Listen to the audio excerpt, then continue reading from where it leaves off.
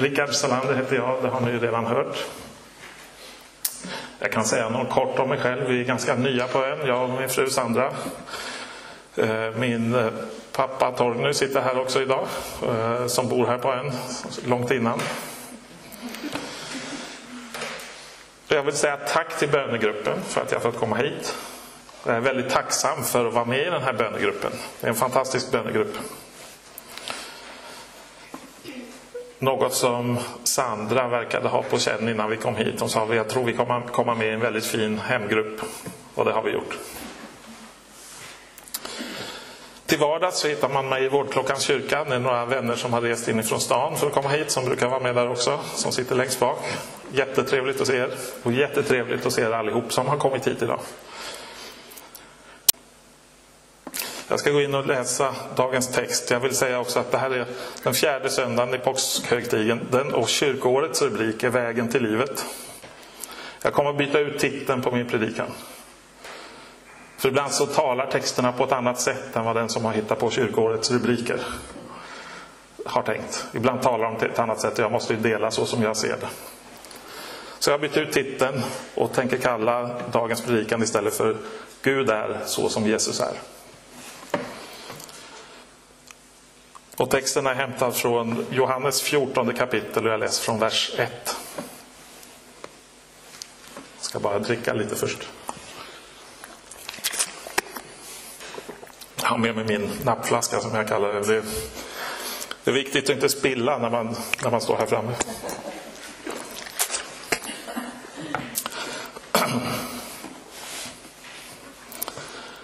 Låt inte era hjärtan oroas. Tro på Gud och tro på mig. I min faders hus finns många rum. Om det inte vore så skulle jag då ha sagt er att jag går bort för att bereda plats åt er. Och om jag än går och bereder plats åt er så ska jag komma tillbaks och ta er till mig för att ni ska vara där jag är. Och vart jag går, det vet ni. Ni känner vägen. Den vägen känner ni, förlåt. Thomas sa, Herre, vi vet inte vart du går, hur kan vi då känna vägen? Jesus sa till honom, jag är vägen, sanningen och livet.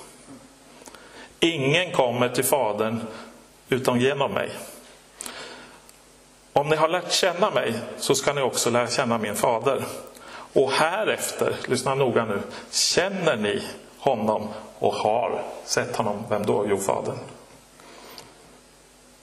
Här talar Jesus precis om, jag går in i texten och förklarar lite på en gång. Jesus har precis talat om att har vi sett Jesus så har vi sett Fadern. Filippus som inte riktigt lyssnar på, han säger, Filippus sa, Herre låt oss se Fadern. Han hade inte kunnat ta in vad Jesus just sa. Vis, Herre låt oss se Fadern, så räcker det för oss. Jesus svarar, så länge har jag varit hos er och du har inte lärt känna mig Filippus. Den som har sett mig har sett Fadern. Så hur kan du säga låt oss se Fadern? Tror du inte att jag är i Fadern och Fadern är i mig? De ord jag talar till er talar jag inte av mig själv. Fadern förblir i mig och gärningarna är hans verk. Tro mig, jag är i Fadern och Fadern är i mig. Om ni inte kan tro det, så tro för gärningarnas skull. Du vet ju vad Jesus gjorde för gärningar, eller hur? Amen, amen, jag säger er. Den som tror på mig ska utföra de gärningar som jag gör och större än dessa ska han göra, ty jag går till Fadern. Och vad ni än ber om i mitt namn så skall, det skall jag göra för att Fadern ska bli förhärligad i Sonen. Om ni ber om något i mitt namn så ska jag, ska, ska jag göra det. Fadern är förhärligad i Sonen. När vi ser Sonen så ser vi Fadern. När vi ser Jesus så ser vi vem Fadern är. Varför är det så viktigt? Jesus han var ordet som blev kött. Ordet som var hos Gud. Vad var det för ord som var hos Gud? De ord som var hos Gud var Guds tanke, Guds idé, Guds tankesätt. Guds tankesätt blev kött. Allt Gud tänkte, allt Gud är, blev uttryckt i Jesus. Precis så som Fadern är, så är också Jesus. Jesus är precis som Fadern är.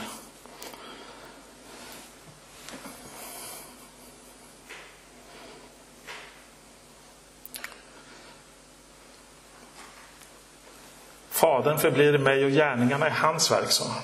Så allt det Jesus gjorde var ett uttryck av vad Fadern tänkte och vad Fadern ville göra. Frågan är om vi har förstått det här fullt ut, att Gud är precis som Jesus är. Ibland så säger vi saker som att Herrens vägar är outgrundliga och vi kan inte veta någonting om, om Gud. Han är flyktig, han är långt borta. Det finns till och med en teologisk inriktning som heter apofatisk teologi där man inte vill säga någonting om Gud. För inget kan vi veta om Gud. Men det stämmer inte. När vi ser Jesus så kan vi veta precis hur Gud är. Har vi sett Jesus så har vi sett Fadern. Så här står det i Johannes, vers 18. Ingen har någonsin sett Gud. Den enfödde som själv är Gud är hos Fadern och har gjort honom känd. Han har gjort Fadern känd. Allt har min fader överlämnat åt mig och ingen känner sonen utom fadern. Inte heller känner någon fadern utom sonen. Det här är från Matteus 11.27. Ingen känner fadern utom sonen och den sonen vill uppenbara det för. Han har uppenbarat det för oss, vem fadern är. När vi börjar ta in det här, att Gud är som Jesus är, så måste vi förstå att Gud ser på syndare, precis som Jesus mötte syndare. Ty så älskade Gud världen, den här versen känner ni nog igen. Ty så älskade Gud världen att han utgav sin enfödde son för att var och en som tror på honom inte ska gå förlorad utan ha evigt liv. Inte, lyssna noggrannare på det här, inte sände Gud sin son till världen för att döma världen, utan för att världen skulle bli frälst eller räddad genom honom. Så som Jesus är, så är också Fadern. Vi tänker så lätt att jag kan inte närma mig Gud. Han är ute efter att ta mig, min synd och döma min synd. Fadern är så som Jesus är.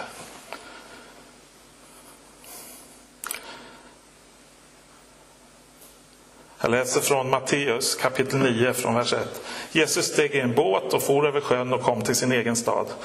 Där förde de, in, där förde de honom till en lam man som låg på en bädd. Och då han såg deras tro sa han till den lame, var vi gott mod, mitt barn, dina synder är förlåtna. Några skriftlärda tänkte, han hädar. Jesus såg deras tankar, intressant uttryck, han såg deras tankar. Varför tänker ni så ont i era hjärtan? Vilket är lättast att säga, dina synder är förlåtna, eller att säga stig upp och gå? Men ni ska veta att Människosonen har makt på jorden att förlåta synder. Sen sa han till den lame, stig upp och ta din bädd och gå hem. Här demonstrerar Jesus tydligt hur Fadern tänker. För vad var lättast? Att säga dina synder är förlåtna eller stå upp och ta din säng och gå? Bara Gud kan förlåta synderna. Här visar han så tydligt vad hans intention gällande syndaren är. Det är att förlåta honom. Och så manifesterar han det, stryker under det med det här miraklet. Sen kommer vi lite längre ner i samma kapitel. Jesus gick vidare och fick se en man som hette Matteus sitta utanför tullhuset. Och han sa till honom, följ mig. Då steg Matteus upp och följde honom. När Jesus sedan var gäst i hans hem kom många. Matteus var syndare och han hade sådana vänner också. Han var en tullare. Men när Jesus var gäst i hans hem kom många publikaner och syndare och låg till bords tillsammans med Jesus och hans lärjungar. Syndare drogs till Jesus. När fariseerna fick se det frågade de hans lärjungar varför äter er mästare med publikaner och syndare? Jesus hörde det och sa det är inte de friska som behöver läkare utan de sjuka. Och så sa han något som är intressant. Gå och lär er vad detta ord betyder. Och så citerar han Gamla Testamentet. Jag vill se barmhärtighet, inte offer. Ty jag har kommit, inte kommit för att kalla rättfärdiga utan syndare. Men så sa han till fariséerna, gå och lär er vad det här betyder. Jag vill se barmhärtighet och inte offer. Fariséerna var experter på, de visste att Gud ville ha offer, det var de övertygade om. De offrade hela tiden. Inte bara en gång om året, då var det den stora offringsdagen, försoningsdagen, men de offrade dagligen. Blodet av bockar och kalvar. Offer på offer. De var experter på hur Gud ville ha det. Men Jesus bemöter dem och säger, gå och lär er vad detta ord betyder. Gud ville se barmhärtighet, inte offer. Vilken religion är det som inte kräver offer? Jag skulle vilja påstå att det är grunden, fundamentet i precis alla religioner. Även när vår kristna tro blir förvrängd och blir en religion så tänker vi att Gud vill ha något offer. Gud vill att jag måste offra någonting. Han vill att jag ska göra någonting. Till fariséerna sa Jesus så här också. Ni känner honom inte. Men jag känner honom. Om jag sa att, ni, att jag inte kände honom skulle jag vara en lögnare som ni. Men jag känner honom och bevarar hans ord. Det var tuffa ord mot fariséerna. Det är Johannes kapitel 8, vers 55 om det är någon som vill dubbelkolla. Ni känner honom inte, sa han till fariséerna. De var övertygade om att de visste hur Gud var och hur han ville ha det. Men Jesus kommer att visa någonting annat. Jesus är inte religiös.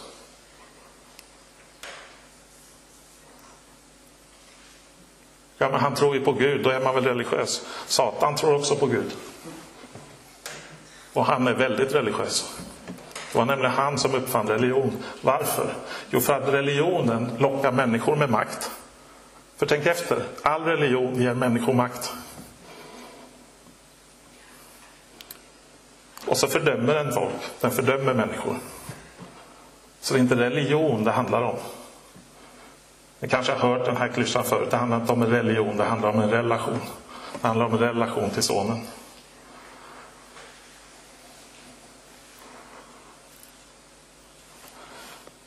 Jag skulle vilja påstå att det var Satan som hittade på religion, för den ger människor makt och Satan vill alltid locka människor med makt. Men sen så ställer religion till det med också att den förvränger bilden av Gud. Vi förstår plötsligt Gud fel. Fariséerna var mycket religiösa. Ni känner honom inte, sa Jesus till dem. Ni har Satan till fader, sa han också. Det är ganska tuffa ord. Om någon här känner sig påhoppad nu och tänker att ja, jag har haft min identitet som religiös, så förlåt mig. Jag menar inte att få dig att må dåligt, men jag önskar att vi ska få en ny bild av Gud. En rättvis bild av Gud. Vi är ute på ett uppdrag för att rentvå Guds namn ifrån religionen. För om Jesus inte var religiös, vilket jag påstår, så är ju inte Gud religiös. För så som Jesus är, så är också Fadern. Och hur kan jag säga att Jesus inte var religiös? Ja, det var för att han inte var inne på det här spåret att lägga tyngd på människor. Han var inte ute efter makt att kontrollera människor. Han var inte ute efter att döma människor. Och allt det ser man som ett resultat, som ett spår efter där religionen har dragit fram. Dömande hållningar, fariseism, en sträng Gud som är ute efter att ta oss. Men så är ju inte Jesus. Har ni någonsin sett Jesus någonstans i texten när han går ut och säger jag ska döma dig? Tvärtom, han sa ju motsatsen. När kvinnan som hade blivit gripen i hor blev slängd framför Jesu fötter så, fråga, så först så sa han den som är utan synd kastar första stenen. De gick allihop. Först de unga, eller först de gamla var det tvärtom. Först de äldsta. De hade haft ett längre liv, de hade lättare att komma på vad de hade gjort för tokigt. Vi vet ju själva när vi gör fel, eller hur? De visste om de, att de hade gjort fel. De släppte sina stenar och gick, allihop. Sen frågade Jesus, var är de som dömer dig? De är inte här, Herre, sa hon, eller Mästare. Och sen sa han, för han var den som kunde ha kastat första stenen. Han var utan synd. Och då säger han, inte heller jag dömer dig. Sådan Jesus är, så är också Fadern. Har vi sett Jesus så har vi sett Fadern.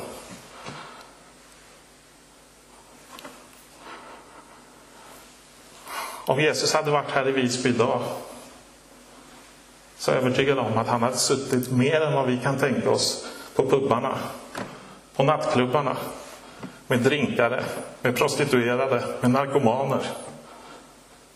Sådana människor drogs till Jesus. Fariséerna var rasande för det. Ser ni inte vad det där är för man, vilka han umgås med? Hade vi dömt honom? Hade vi anklagat Jesus om han hade varit här i Visby då? Jag hoppas inte det.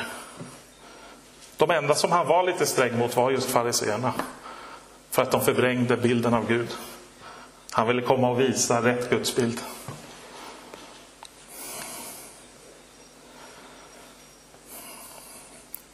När vi blir religiösa, om vi blir religiösa, så är vi på kollisionskurs med Gud själv. För när Jesus kommer och blir det eviga offret så avslutar han ju all religion. Det är färdigoffrat. Ett offer en gång för alla tider. Vi har ett väldigt enkelt budskap. Det går att göra vårt budskap väldigt komplicerat, men egentligen har vi ett väldigt enkelt budskap. En man, ett offer, en dag. För alla människor, för alla tider. Väldigt enkelt.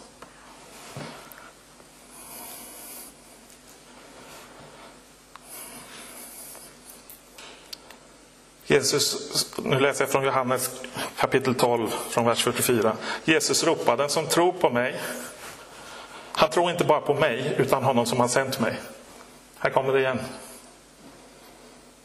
Och den som ser mig, han ser honom som har sänt mig.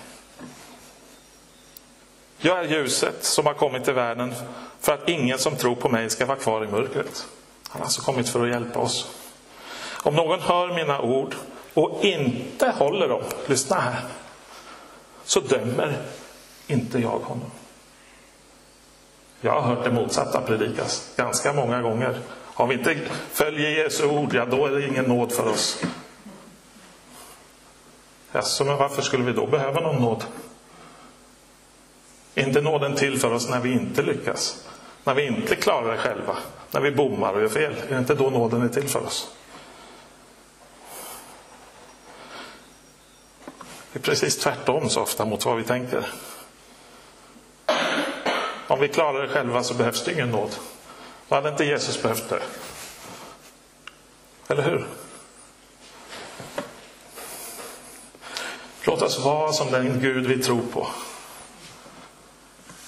Nådefulla, barmhärtiga, kärleksfulla. Jesus kräver inte. Han krävde inte. Han kom för att förse. Jag ska utveckla. En av, en av de mest citerade bibelverserna som finns. Ni kommer att känna igen det. Även den som inte går i kyrkan dagligdags kommer att känna igen det här. Herren ger och Herren tar. Varför har vi citerat en sån vers? Det är från Jobb kapitel 1. Och det är Jobb som säger det.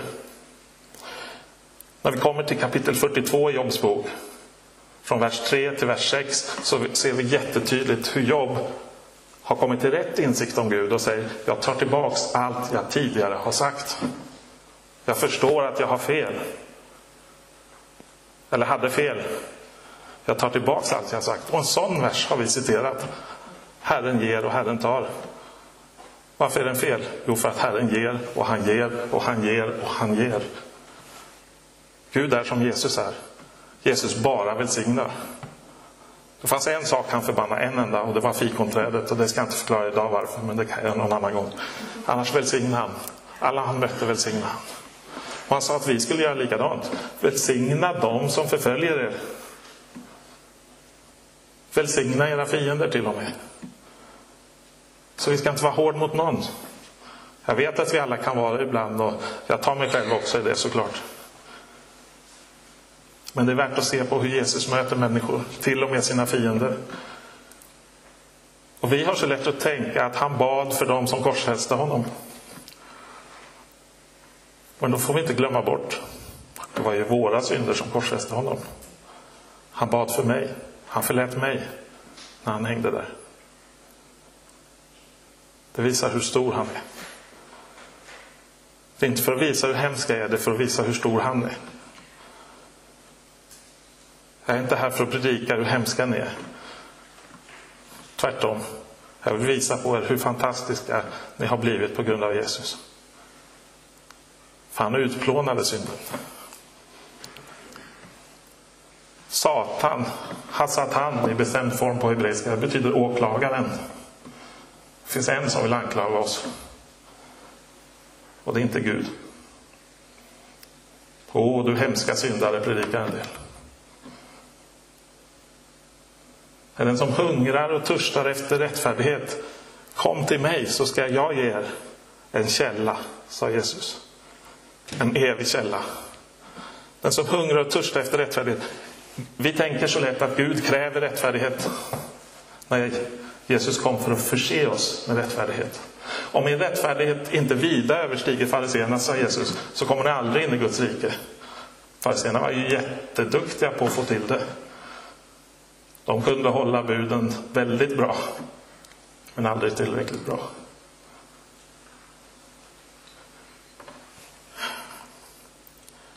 Jesus, han höll buden tillräckligt bra. Han fullbordade lagens alla krav på rättfärdighet. Och så förseglade han det som ett testamente. Ett testamente vittnar om ett arv. Ibland har vi inte förstått att Bibeln är i grund och botten ett testamente. Vi tror att det är en lagbok. Det var så fariséerna läste skrifterna, som en lagbok. Men vi har ett nytt testamente. Det handlar om att han som har skrivit det var tvungen att dö. Det var enda villkoret för att vi skulle få välsignelsen. Och i honom så har vi fått all välsignelse. Efesierbrevet kapitel 1. All välsignelse har vi fått i Jesus Kristus. Inte bara lite. Ingen förbannelse. Tvärtom, den tog han på korset. Han blev till en förbannelse på korset. Så det är bara välsignelsen som kvarstår. Sådan Jesus är, sådan är också Gud. Allt har vi fått som ett arv. Rättfärdighet. När vi fick rättfärdighet så tog Gud vår synd, lade den på Jesus, och tog han Jesus rättfärdighet och lade den på oss. Så hur rättfärdiga är vi? Vår rättfärdighet ska vida överstiga fariséernas för vi ska komma in i Guds rike. Du är lika rättfärdig som Jesus själv. Det är hans rättfärdighet vi har fått. Det går inte att bli mer rättfärdig. Rättfärdig betyder att vi kan stå inför Gud som om synd aldrig någonsin har existerat. Jag har förstått att jag ska gå in för landning här. Jag måste ta något bibelord till bara. Innan jag avslutar helt. Hebreerbrevet kapitel 8, vers 12 och så Hebreerbrevet Hebreerbrevet 10 och 17. Jag kommer läsa dem båda efter varandra. Jag ska i nåd förlåta dem deras missgärningar och deras synder ska jag aldrig mer komma ihåg. Kapitel 10, vers 17. Och deras synder och överträdelser ska jag aldrig mer komma ihåg. Där kommer det på nytt. Aldrig mer. På grekiskan är det en dubbel negation. Aldrig, aldrig. Never, ever. Det är engelska. Aldrig någonsin kommer han mer komma ihåg vår synd. Vilket budskap vi har. Vi behöver inte vara rädda för Gud. Vi kan frimodigt gå inför nådens tron i varje situation. Även om vi har bommat, även om vi har gjort fel. Till och med, jag måste ta den också, på domens dag. Första Johannes Första Johannesbrevet 4, kapitel, eller vers 17. I detta har kärleken nått sitt mål hos oss, att vi är frimodiga på domens dag, inte vilken dag som helst.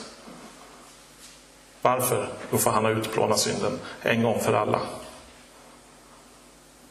En man, en dag, ett offer. Tack.